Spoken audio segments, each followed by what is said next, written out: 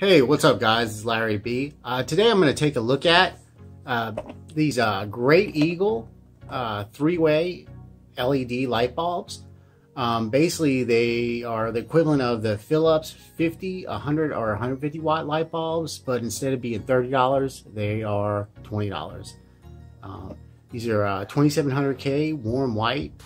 And uh, what I want to do here today is actually, I want to test the claims of the wattage. On the box, it says that the low settings here should be 6 watts, medium high, uh, excuse me, medium 12 watts, and high 19 watts. And uh, what I'm going to do here is use this,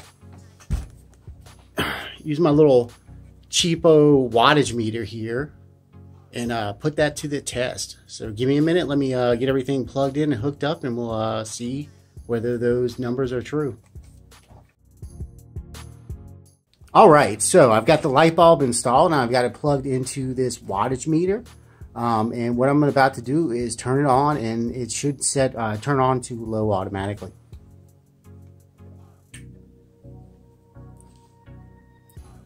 All right, so turned on at low, we're reading 5.9 watts, which is uh, within the range of the 6 watts they're supposed to be rated for at low. So that's that's a good sign to start off with looks like, uh, at least for low, it is the proper wattage.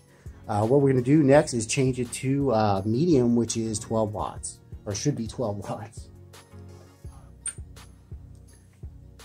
And we're at medium, and let's see, it is reading, see, what's that, 11.7, 11.6. Uh, uh, it seems to be bouncing around a bit between 11.6 and 11.7. I'm not sure quite what that means, but it is under the 12 watt range it's rated for.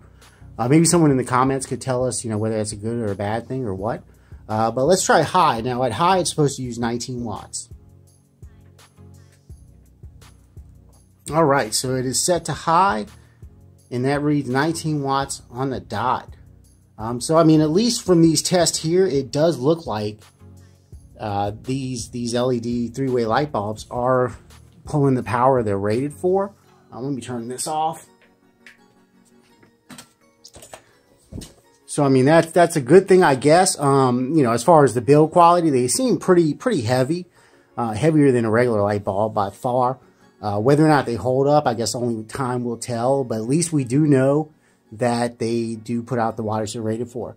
Um, but other than that, guys, that's really all I had. You know, I just want to make a little quick video for this.